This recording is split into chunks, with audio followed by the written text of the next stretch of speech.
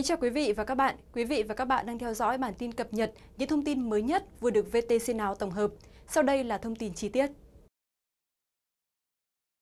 Công an tỉnh Vĩnh Phúc cho biết vừa bắt giữ kẻ chủ mưu phát tán clip giả mạo ở quán bar Sunny Phúc Yên để điều tra về hành vi chỉ đạo đồng phạm sử dụng mạng Internet để truyền bá văn hóa phẩm đồi trụy trên không gian mạng. Theo đó, đối tượng được xác định là chủ mưu vụ phát tán clip đổi trụy giả mạo ở Ba Sunny là Ngô Văn Thắng, sinh năm 1992, trú tại Tây Hồ, Hà Nội. Thắng bị bắt vào tối ngày 18 tháng 5 để điều tra về hành vi chỉ đạo đồng phạm sử dụng mạng Internet để truyền bá văn hóa phẩm đổi trụy trên không gian mạng. Theo điều tra của Công an tỉnh Vĩnh Phúc, ngày 8 tháng 5, thông qua các trang báo điện tử và trang Facebook cá nhân, Thắng biết tình hình dịch bệnh COVID-19 bùng phát tại tỉnh Vĩnh Phúc có liên quan đến hoạt động của quán bar Karaoke Sunny ở thành phố Phúc Yên, tỉnh Vĩnh Phúc, được nhiều người quan tâm. Thắng đã tìm kiếm video đổi trụy phản cảm rồi gắn nó liên quan tới quán này rồi đăng tải lên trang website vào bóng tv.com và phổ biến chia sẻ cho toàn bộ nhân viên trong công ty chia sẻ lên mạng xã hội. Clip đã thu hút được 300.000 lượt xem, chia sẻ sau khi đăng. Sáng ngày 11 tháng 5, Tuấn Thắng trao đổi rồi xóa đoạn video clip đó trên trang web livebóng.live và chèn đường dẫn về trang website vào bóng tv.com để kéo lượt truy cập vào trang website này để tăng lượt truy cập.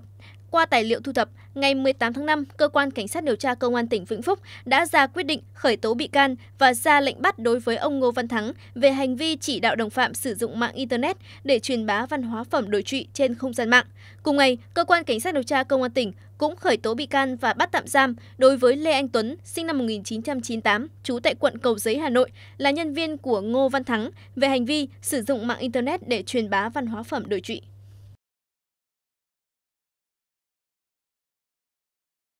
Tiếp tục bản tin là các nội dung đáng chú ý khác. Từ các tài liệu, chứng cứ, tháng 1 năm 2021, Ban chuyên án của Bộ Công an đã đồng loạt tổ chức phá án, khám xét khẩn cấp 7 địa điểm, áp dụng biện pháp tố tụng đối với 15 đối tượng liên quan, vô hiệu hóa 6 đường dây chiếm đoạt dữ liệu quy mô lớn. Cũng theo thông tin của Cục An ninh mạng và Phòng chống tội phạm sử dụng công nghệ cao A05, đến ngày 4 tháng 5, hai bị can Dư Anh Quý 33 tuổi và vợ là Lại Thị Phương 29 tuổi, giám đốc công ty VNIT Tech có trụ sở tại quận Ba Đình, thành phố Hà Nội đã bị khởi tố về tội đưa hoặc sử dụng trái phép thông tin lên mạng máy tính mạng viễn thông theo Điều 288 Bộ Luật Hình sự năm 2015, sửa đổi, bổ sung năm 2017. Cơ quan Cảnh sát điều tra Bộ Công an xác định vợ chồng Lại Thị Phương, Dư Anh Quý cùng một số đối tượng đã thu thập, chiếm đoạt, mua và sử dụng trái phép gần 1.300 GB dữ liệu chứa hàng tỷ thông tin về các cá nhân tổ chức trên toàn quốc. Sau khi làm việc với cơ quan công an, tôi đã nhận thức được hoạt động sử dụng bán dữ liệu trái phép, thông tin cá nhân của người khác để thu lợi bất chính là hành vi vi phạm pháp luật. Hoạt động này ảnh hưởng đến bí mật đời tư của người dân, tác động tiêu cực đến xã hội. Tôi cam kết sẽ không tái phạm và mong được hưởng khoan hồng của pháp luật. Phần lớn dữ liệu cá nhân bị thu thập, giao bán là thông tin khách hàng của điện lực, ngân hàng, bưu chính viễn thông, phụ huynh học sinh. Đáng chú ý, các đối tượng đã lợi dụng quyền quản trị hệ thống thông tin tại một số cơ quan doanh nghiệp để trích xuất dữ liệu và chiếm đoạt. Để có được cái lượng dữ liệu lớn như vậy thì chúng tôi thấy là các đối tượng một là à, một số đối tượng à, đã lợi dụng vị trí công việc, lợi dụng cái quyền quản trị à, trong các hệ thống mà quản lý thông tin của người dùng và đã chiếm đoạt à, dữ liệu này để bán à, thu lợi bất chính. Các đối tượng đã lập ra nhiều trang mạng ẩn danh, sử dụng các cái tài khoản mạng xã hội à, đặc biệt là trên Facebook, Zalo hoặc là Telegram để đăng tin giao bán và cũng như là thực hiện các cái giao dịch và mặc dù là về mặt hình thức thì các đối tượng hoạt động công khai tuy nhiên trong quá trình thực hiện thì các đối tượng sử dụng nhiều thủ đoạn để đối phó với cơ quan chức năng qua công tác đấu tranh chuyên án, cơ quan công an cũng phát hiện nhiều cá nhân doanh nghiệp đã mua dữ liệu với số lượng lớn từ các đối tượng để sử dụng trái phép nhằm thu lợi bất chính. Đây là hành vi vi phạm pháp luật và cơ quan công an đang tiếp tục điều tra, củng cố hồ sơ để xử lý cá nhân doanh nghiệp có hành vi vi phạm này nhằm tạo tính răn đe. Khu vực ngã ba sông Công sông Cầu thuộc địa bàn xã Trung Giã, huyện Sóc Sơn, thành phố Hà Nội đã trở thành điểm tập kết vật liệu xây dựng từ nhiều năm nay. Đặc biệt vào mùa mưa bão, tất cả các bến bãi vật liệu xây dựng ven sông phải ngừng hoạt động để đảm bảo an toàn. Tuy nhiên, hàng ngày xà lan vẫn ra vào tấp nập để chuyển cát cùng hàng hóa lên bến. Huyện đang tập trung chỉ đạo phòng tài nguyên môi trường là cơ quan thường trực à, giao cho phòng phối hợp với công an huyện để tập trung xây dựng kế hoạch gia quân xử lý để đảm bảo ổn định chung và đảm bảo tốt cái công tác phòng chống lụt bán. Cũng tại khu vực này, mỗi ngày có hàng chục lượt xe trọng tải lớn vô tư ra vào mà không gặp bất cứ một sự kiểm soát nào từ phía cơ quan chức năng. Điều đáng nói, tất cả những bến bãi này đều không được cấp phép hoạt động. Sai phạm diễn ra trong một thời gian dài, nhưng chính quyền địa phương lại mới chỉ phát hiện.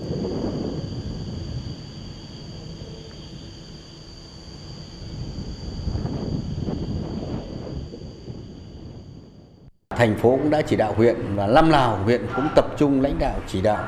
trong việc xử lý các bến bãi tập kết khai thác cát sỏi. Nhưng do cái cuộc sống mưu sinh của những người dân của hợp tác xã cát sỏi sông Công dọc đấy, nhu cầu cuộc sống của họ cung và cầu, cho nên là mặc dù huyện thì không cấp phép, không cho đơn vị nào là được chứa chất vật liệu, nhưng mà do nhu cầu cuộc sống thì là các hộ dân vẫn cố tình cũng theo ông Thu, việc xử lý dứt điểm bến bãi không phép là vô cùng khó khăn khi mà Hà Nội không cho phép khai thác cát sỏi và lập bến bãi tại khu vực này thì cách đó không xa, hai tỉnh Thái Nguyên và Bắc Giang lại cấp phép cho hàng chục mỏ khai thác cát. Đặc biệt, dù Ủy ban nhân dân huyện Sóc Sơn đã yêu cầu Ủy ban nhân dân xã Trung Giã phải kiểm tra và dừng mọi hoạt động tập kết vật liệu xây dựng tại khu vực này và xem xét làm rõ trách nhiệm của tập thể và cá nhân để xảy ra sai phạm. Tuy nhiên, sau hơn một tháng kể từ khi có chỉ đạo từ huyện Sóc Sơn, thì hoạt động xử phạt chỉ là ném đá ao bèo. Thông tin vừa rồi cũng đã khép lại bản tin cập nhật của VTC Now. Cảm ơn quý vị và các bạn đã quan tâm theo dõi. Đài truyền hình kỹ thuật số VTC chính thức ra mắt chuyên trang điện tử VTC Now tại địa chỉ www.vtcnow.net. Lần đầu tiên, một chuyên trang điện tử tiếng Việt cung cấp liên tục các bản tin trực tiếp breaking news với sự xuất hiện của hàng trăm phóng viên tại nhiều điểm thời sự nóng bỏng còn làm thay đổi rất nhiều suy nghĩ trong một con người. Lần đầu tiên, khán giả Việt Nam được theo dõi các tin tức theo dạng đồ họa, mô phỏng hiện đại và sống động. Những chương trình bản quyền hấp dẫn nhất trên hệ thống 15 kênh truyền hình VTC được chất lọc và công chiếu liên tục mỗi ngày. Hệ thống lịch phát sóng tự động giúp khán giả tra cứu và theo dõi nhanh nhất các chương trình đã đang và sẽ phát sóng trên VTC. Những TV show ăn khách